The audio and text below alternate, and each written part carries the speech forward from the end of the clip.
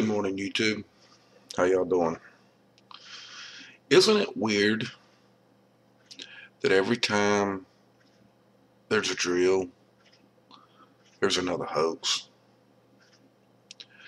Well, look at that picture. I mean, I'm showing you the blog pretty much right at the moment just to show you all the stuff that's on here already.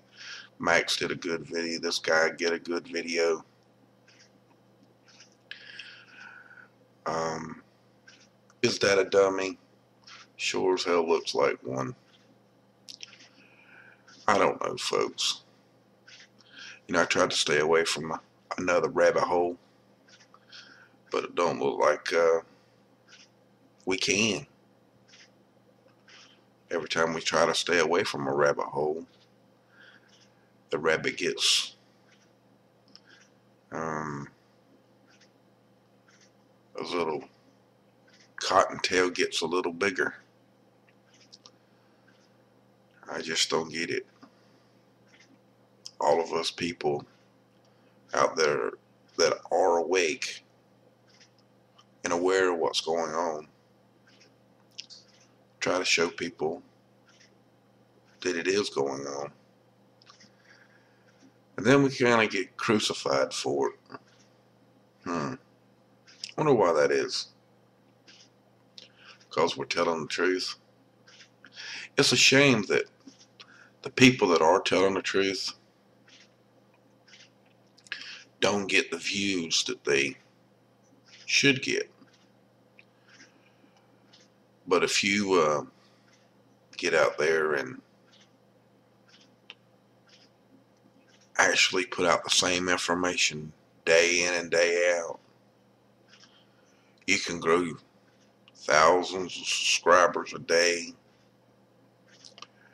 and or thousands of views a day and hundreds of subscribers a day all deadhead zombies. I just don't get it. And ain't it also curious that they push people around in wheelchairs and all of these hoaxes anymore? Those guys there's on a drill with plastic guns? Really? Now, this particular guy was on the right was at the LA uh, shooting.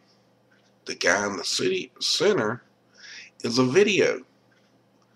The the post at the bottom is off of his video where he said, yes, I was at 9-11, which is the picture on the left. Really? How far are you people willing to take to hoax this country out of its freedom? How far? How far will you take, or how far, how low will you stoop to take the American people's freedom away? Really? You want to take our guns away. You want to take everything away and give us the eye of enlightenment. Third eye enlightenment? Come on. Really? You sure?